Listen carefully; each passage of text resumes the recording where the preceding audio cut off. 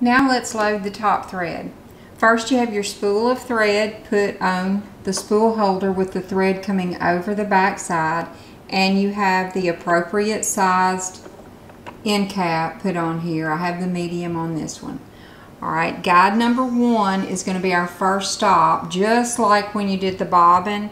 So we're going to hold it from both sides and push it till you hear it go click. Then we're going to move over to step two, come around under that. Okay, at this point, you need to stop and be sure that your presser foot is raised. The foot down at the bottom, you need to lift the little lever to make sure that it's up. And I'm going to show you why it needs to be up. Right down here, this little metal flat disc, your thread needs to go to the right side of it in between that guide, that, and that's a tension guide, and the metal thing on the far right, the stationary guide. Watch what happens when I let my foot down. Did you see how that moves to the right? It clamps down. You see? Well, if your foot is down, it's going to be hard for you to get your thread in between there. So it is extremely important right now that you make sure the presser foot is in the upper position. Then you can lift your thread and lay it right in there. So now my thread is in between this outer metal disc and the stationary metal disc. It's in between there. And this is the lever right here that lets that foot up and down. So when you're dropping it down into this channel 3, you want to be sure that this is in the up position. Next, we're just going to follow the arrow. And you see we're kind of making a U-turn right here at the bottom of 3. And we're going to go all the way back up to the top. And you want to pull your thread to the right at this point.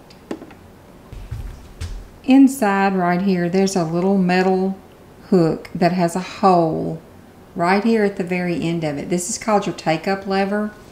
So your thread comes up on the right hand side of that lever and then you're going to lay it across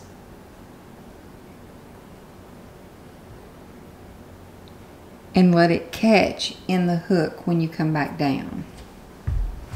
Now we're ready for the needle thread, almost ready for the needle threading. You're going to come on down, see we're at number five.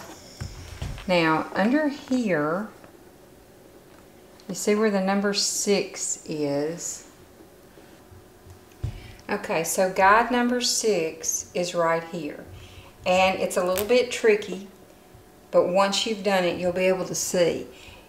Hold your thread horizontally like this and floss it kind of in there. There's actually it just it it has to slip in there. There it's sandwiched in between another little metal disc that's really hard to see.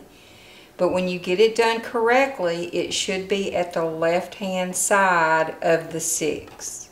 Okay? And pull it through there. It's locked in there. Now, the needle, to thread the needle, you can let your foot down now because you do need the tension on the thread. So that closed your tension disc. Now, you can just take the end of your thread and push it front to back through the hole if you want to, or you can use the automatic needle threader. Okay, so now we're ready to thread the needle. You can just push the thread through from front to back, or you can use the automatic needle threader. Now, before you use, if you try it, like right now, it's not going to engage all the way. This thing has to swing around. So the problem is my needle is not all the way up. There's a little button up here. This little button right here will put your needle in the correct position. Well, that went to needle down. So push it again. And now it's needle up. Okay. Now we're in the correct position. So if you press this down, and when you get to the bottom, keep pressing. It will swivel on around um, and like enclose the needle. So you're going to push down and it swings around and the needle like fits in between these little fork-like tines. So next you're going to bring your thread all the way to the left. There's a hook over here. You're going to put it under that hook, stretch it all the way across and insert it in between the fork-like tines and then it will pull a loop of thread to the back and you can just pull that thread all the way out. And now you are actually ready to go. I personally like to pull up my bobbin thread, which means just with your hand you turn, or you can use your needle up down button. Send it down and bring it back up. And what that just did is it pulled up my bobbin thread. So now my bobbin thread is coming up through here as well. Okay, so now you have top thread and you have bottom thread and you're ready to put some fabric under there and sew. So if this was helpful, don't forget to hit that subscribe button and the notification bell because we'll be doing some other things with the Brother ST150HDH. Thank y'all for watching.